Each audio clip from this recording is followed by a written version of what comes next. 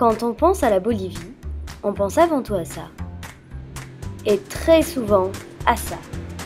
Et puis pour certains, surtout à ça.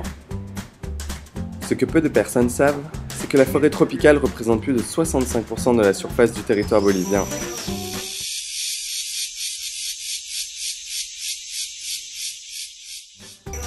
Elle abrite une vie riche et variée, parfois coquine, un peu paresseuse, mais surtout très très sensuelle.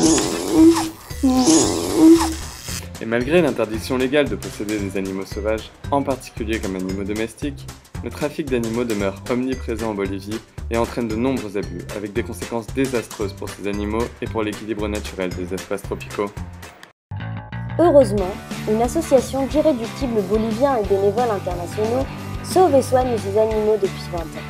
Certains d'entre eux ont même la chance de retourner vivre à l'état sauvage. Et des chanceux, on en trouve aussi parmi les amis des humains.